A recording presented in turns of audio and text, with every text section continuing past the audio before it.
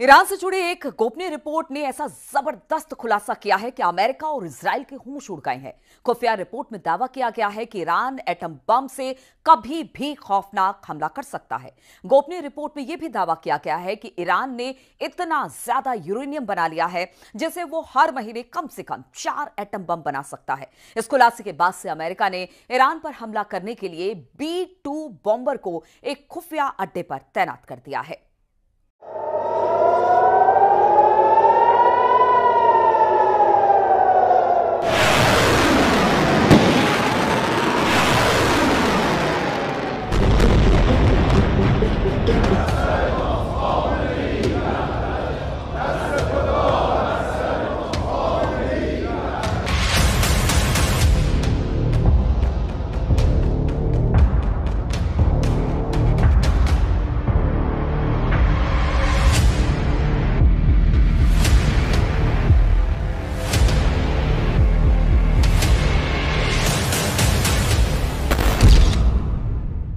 Iran के atom bomb से आखिरी युद्ध।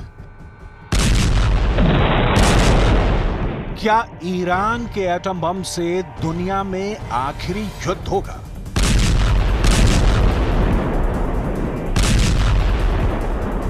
ये सवाल इसलिए उठ रहे हैं क्योंकि ईरान कुछ ऐसा करने जा रहा है जिसने इसराइल और अमेरिका को हैरान कर दिया है।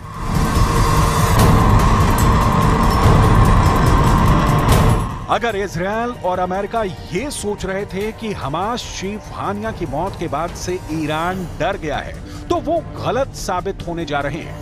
अगर इसराइल और अमेरिका ये सोच रहे थे कि ईरान इसराइल पर हमला करने की हिम्मत नहीं जुटा पा रहा है तो ये सोच भी पूरी तरह से गलत साबित होने जा रही है।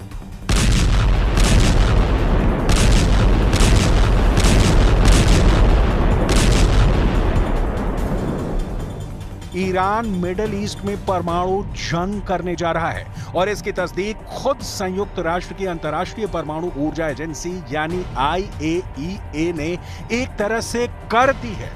जरा देखिए, ईरान की परमाणु तैयारियों को लेकर आईएईए ने क्या खुलासा किया है। ईरान का परमाणु बम, निशाना इसराइल आईएईए ने ईरान की तैयारियों को लेकर जो खुलासे किए हैं, वो सीधे सीधे इसराइल के वजूद के लिए खतरा साबित हो सकते हैं। आईएए की तरफ़ से जो गोपनीय रिपोर्ट यूएन में भेजी गई है, वो हैरान करने वाली है।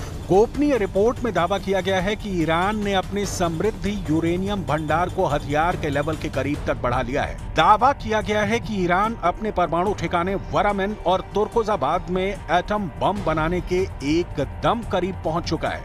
ईरान लगभग एक किलोग्राम यूरेनियम तैयार कर चुका है, जो एटम बम बनाने के लिए काफ़ी है। ईरान ने 60 प्रतिशत शुद्धता तक संवर्धित यूरेनियम 90 फ़ीसदी के हथियार ग्रेड स्तर तक लगभग पहुँचा दिया है।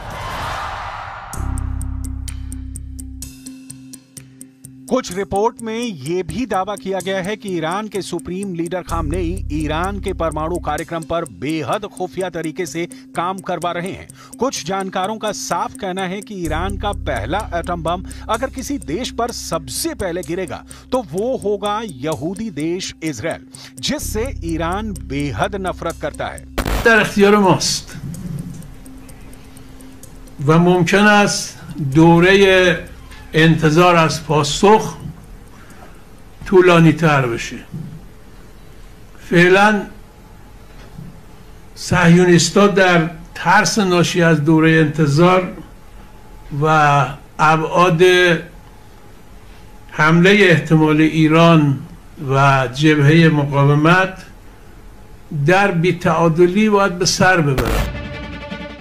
इधर जब से ईरान की एटमी ताकत का पता इसराइल और अमेरिका को लगा है, दोनों ने ही ईरान से मुकाबला करने के लिए युद्ध स्तर पर तैयारियाँ शुरू कर दी हैं। खबर है कि डिएगो गार्सिया आइलैंड से अमेरिकी सीक्रेट मिलिट्री बेस से ईरान पर बड़े हमले की तैयारी हो चुकी है दावा किया जा रहा है कि अमेरिका ने खतरनाक bomber B two nuclear stealth तैनात कर दिया है, ताकि इसराइल को ईरान के घातक हमलों से बचाया जा सके इस वक्त अमेरिका ने अपने नेवी के 30 फ़ीसदी वॉरशिप भी मिडिल ईस्ट में तैनात कर दिए हैं। अब हम दिखाते हैं कि इसराइल के हमलों से बचाने के लिए अमेरिका ने क्या किया है। अमेरिका ने ईरान को टारगेट करते हुए B two nuclear stealth bomber को जंग में उतार दिया है। अमेरिका के secret military base Diego Garcia से B two nuclear stealth bomber से ईरान पर हमला किया जाएगा। दावा किया जा रहा है कि बी टू बॉम्बर 4,842 किलोमीटर की दूरी तय करके ईरान पर घातक बम और मिसाइलों से हमला करेगा। दावे तो यहाँ तक किए जा रहे हैं कि बी टू बॉम्बर सबसे पहले ईरान की राजधानी तेहरान पर हमला कर सकता है। अमेरिका जानता है कि अगर बी टू बॉम्बर से ईरान ईरान पर हमले नहीं किए गए तो ईरान लंबी दूरी की मिसाइलों और एटमी हथियारों से इसराइल को पूरी तरह से तबाह और बर्बाद कर सकता है। हम आपको बता दें कि अभी कुछ दिन पहले ही ईरान ने अपनी खुर्रम शहर मिसाइल का खुलासा करके अमेरिका और इसराइल के होश उड़ा दिए थे। दावा किया जा रहा था कि ईरान के पास ऐसे मिसाइल शहर मौजूद हैं जिसमें दो लाख से ज़्यादा घातक मिसाइलें मौजूद हैं। ईरान इसराइल पर अपनी लंबी दूरी की घातक मिसाइल खुर्रम शहर फोर से हमला करने जा रहा है। ईरान की मिसाइल ब्रिगेड ने ऐसी सैकड़ों मिसाइलें पश्चिमी ईरान तक पहुँचा दी हैं, जहाँ से इसराइल के शहरों को तबाह और बर्बाद किया जा सकता है। दावा तो यहां तक किया जा रहा है कि इसराइल का आयरन डोम इस मिसाइल को रोक नहीं पाएगा बल्कि ईरान के खुर्रम शहर फोर मिसाइल आयरन डोम के चीथड़े उड़ा देगी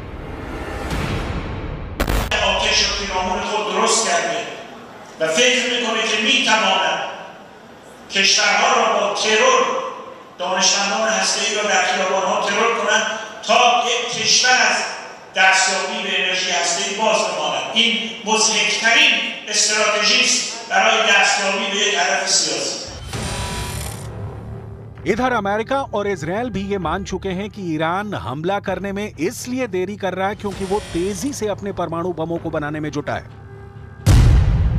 खुफिया एजेंसियों को भनक लगी है कि ईरान इस वक्त एटमी हमला करने के आखिरी दौर में पहुँच चुका है। दावा तो यहाँ तक किया गया है कि ईरान के सुप्रीम लीडर ने कुछ चुनिंदा टॉप कमांडरों को आदेश दे दिया है कि ईरान इसराइल पर एटम बम से हमला करना चाहता है। हालात ये हो गए हैं कि ईरान की परमाणु तैयारी को देखते हुए पीएम नेतन्याहू ने एक बड़ी मीटिंग की है। जिसमें यह समझने की कोशिश की गई है कि अगर ईरान इसराइल पर परमाणु बम से हमला करता है तो इसराइल ऐसी स्थिति में अपने बचाव के लिए क्या क्या कदम उठा सकता है? दावा किया जा रहा है कि ईरान लगभग 12 परमाणु बम बनाने के बेहद करीब पहुँच चुका है, जो पूरे मिडिल ईस्ट के लिए बेहद खौफनाक है, खास तौर से इसराइल के वजूद के लिए। अब सवाल उठता है कि ऐसे हालात में क्या इसराइल को खुद को ईरानी मिसाइल और एटम बम से बचा पाएगा? क्या अमेरिका इसराइल को बचाने के लिए बी टू बॉम्बर को मास्टर स्ट्रोक मानता है?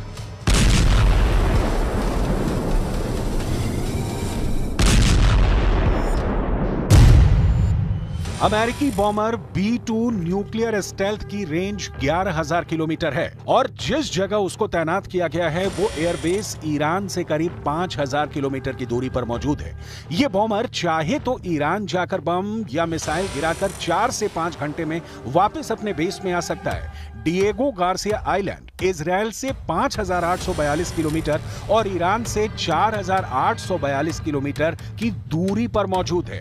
B two nuclear stealth bomber में 80 छोटे और 16 परमाणु बम रखने की क्षमता है। ये एक दशमलव सात शून्य लाख किलोग्राम का वज़न लेकर उड़ सकता है और इसका खुद का वेट इकहत्तर हज़ार सात सौ किलोग्राम है। इसकी लंबाई उनहत्तर फीट है और इसमें एक सौ बहत्तर फीट लंबाई वाले पंखे लगे हुए हैं। B two nuclear stealth 900 kilometre प्रति घंटे की रफ्तार से उड़ान भरता है और 1010 किलोमीटर प्रति घंटे से ज़्यादा की स्पीड से चलता है। आसमान में ये पचास हज़ार फीट की ऊंचाई तक जा सकता है। इसमें 230 किलो वज़न के एम के एटी टू और जीबीयू 38 बमों को बॉम्ब रैक असेंबली में रखा जाता है। ऐसे 80 बम इसमें रखे जा सकते हैं। इसके अलावा इसमें बी सिक्सटी और बी एटी थ्री जैसे 16 न्यूक्लियर बम लगाए जा सकते हैं। भयानक तबाही के लिए इसमें AGM 154 joint stand off weapon और AGM 158 joint air to surface stand off missile भी लगाई जा सकती है साथ ही तबाही मचाने वाले दो GBU 57 massive ordnance penetrator bomb भी लगाए जा सकते हैं अगर अमेरिका ईरान पर बी टू बॉम्बर से हमला करता है तो ईरान का बच पाना लगभग नामुमकिन है חשבון עם מוחסן ונסגור חשבון עם כל מי שפוגע בנו. כל מי שטובח בילדינו, כל מי שרוצח את אזרחינו, כל מי שפוגע במדינתנו, דמו בראשו.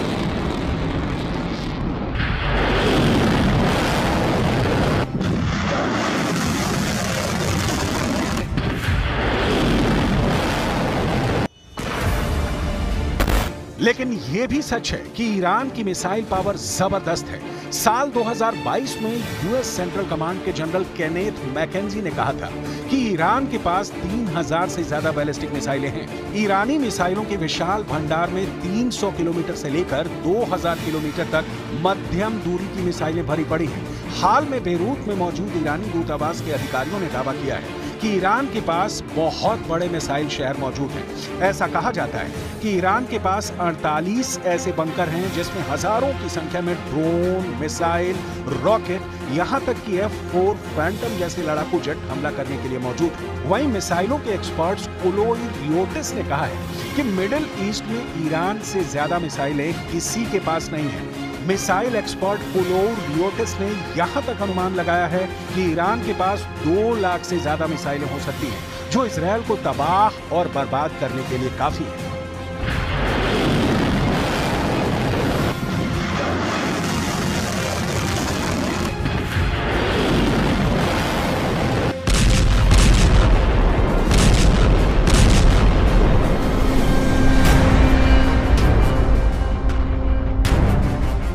इधर हानिया हत्याकांड के बाद से ईरान के सुप्रीम लीडर अली खामनेई ने ईरानी कमांडरों को कसम खिला दी है कि इसराइल से हानिया की हत्या का बदला हर हाल में लिया जाए। पिछले 20 दिनों से खामनेई लगातार ईरान के आईआरजीसी के टॉप कमांडर्स के साथ मीटिंग कर रहे हैं। इस मीटिंग में खामनेई इसराइल पर मिसाइलों की बरसात करने का आदेश अपने कमांडरों को दे चुके हैं। ईरानी बंकर की ये तस्वीरें साबित करती हैं कि ये सिर्फ़ सुरंग नहीं है, बल्कि मिसाइलों से भरे हुए ऐसे शहर हैं जो इसराइल के लिए किसी कयामत से कम नहीं है। ईरान की मिसाइल पावर का लोहा अमेरिका तक मानता है। ईरान खुर्रम शहर मिसाइल को इसराइल पर दागने की तैयारी में जुटा है। खुर्रम शहर मिसाइल पश्चिमी ईरान में सैन्य ठिकानों पर पहुँच चुकी है, जहाँ से ये मिसाइल इसराइल पर दागी जाएगी। खबरों में ऐसे दावे किए जा रहे हैं कि ईरान इसराइल से कम से कम 10 शहरों और वहाँ मौजूद सैन्य ठिकानों को तबाह करना चाहता है। ऐसा कहा जा रहा है कि ईरान इसराइल की राजधानी तेल अभी हाइफा अशकेलो, बेत शोआन केफर सावा रेजोवोर रमाला, अफुला, बरशेबा, बेशेरबा, हरजलिया और खुर्रम शहर मिसाइल से हमले कर सकता है, क्योंकि खुर्रम शहर मिसाइल इसराइल के आयरन डोम को दबा कर सकती है। ऐसे में इसराइल पर बहुत बड़ा खतरा मंडराने लगा है। अब ऐसे हालात में अंदाज़ा लगाया जा सकता है कि अगर ईरान अपने एटमी हथियारों और खुर्रम जैसी मिसाइलों से एक साथ हमला इसराइल पर कर दे तो ऐसी स्थिति में क्या अमेरिका इसराइल को बी टू से बचा पाएगा?